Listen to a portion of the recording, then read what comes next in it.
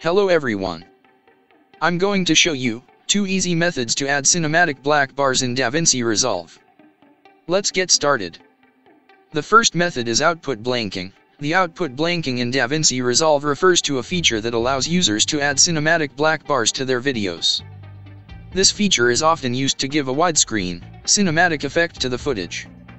It can be used to change the aspect ratio of the video to formats such as 2.35:1 or 1.85:1, which are common in the film industry. The output blanking feature can be found in the timeline menu of DaVinci Resolve. Users can select from a variety of preset aspect ratios or create custom ones. This feature is non-destructive, meaning it does not permanently alter the original video footage.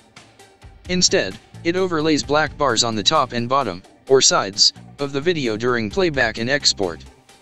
The second method is animated cinematic black bars in DaVinci Resolve.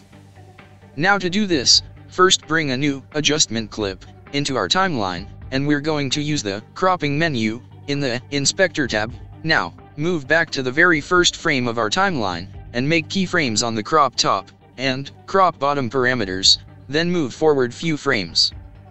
And then again make keyframes on the crop top and crop bottom parameters, and now under this crop top menu, here type 150, then hit enter. Just like that go to the crop bottom menu, here type 150, then hit enter. And when we play this animation from the beginning, you'll find this animated cinematic black bars. And now to smooth out this animation.